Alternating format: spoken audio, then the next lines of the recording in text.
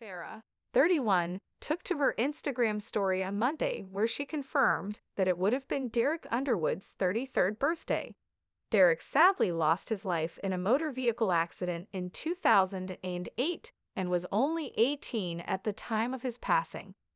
One month later, Farrah gave birth to their daughter, Sophia, who is now 14 years old. Posting a collage of photos of her and Derek, Farrah also shared a screenshot of a lengthy text message that she had sent to her teenage daughter. It began, Lunch and sweet tea time in memory of your dad, Derek, today. Lots of love, and I'm proud of you over all the time it took me to work through pain body parasite, is what they call it. But I'm proud of you with and without therapy and the weird communities at times through the years that you never made lost part of your identity and you stayed consistent in your own identity, balancing and processing emotions in the most healthiest way. Farrah continued, that's something to celebrate every day and the greatest gift of knowing personal inventory for all of life's wins and transitions. Love you, Sophia, and proud of you being a leader for me to get out of pain body parasite, she added.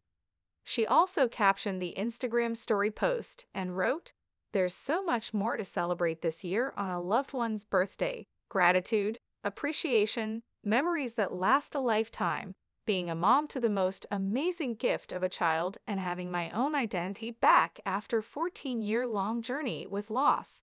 Thank you and happy 33rd birthday, Derek. Cheers with our sweat teas and loving memory to you. Sick, the reality TV star added.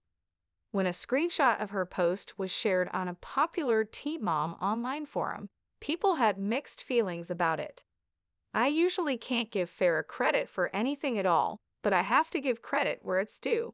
I needed a new flair and she F asterisk kin delivered, one person wrote. When others commented on Farrah's confusing text message to her daughter, one person defended her and said, It's word salad, but it's affectionate. Farrah lives with some big regrets. But I guess we all do. A third Reddit user admitted, The entire topic of Derek makes me deeply uncomfortable. Someone else accused, I feel so bad for Sophia. Everything is about Farrah. This isn't the first time that Farrah has paid tribute to Sophia's father on social media. On December 28, 2020, the 13th anniversary of Derek's death, Farrah took to social media to share a tribute 13 years later. I'm grateful I see FATHER on your headstone today. A caption reads next to a carousel of photos of Derek's gravesite. I'm grateful for our family. I've learned more about the human condition, bereavement, trauma, loss, and depression. Your life has made a world of difference to mine and so many others. In living memory, peace and love to D-R-E-K-U-N-D-E-R-W-O-D, the love of my life and F-A-T-H-E-R to our amazing and blessed at Sophia Abraham. A thank you, a goodbye, a always in my mind, giving me strength to make the world a better place. Blessed.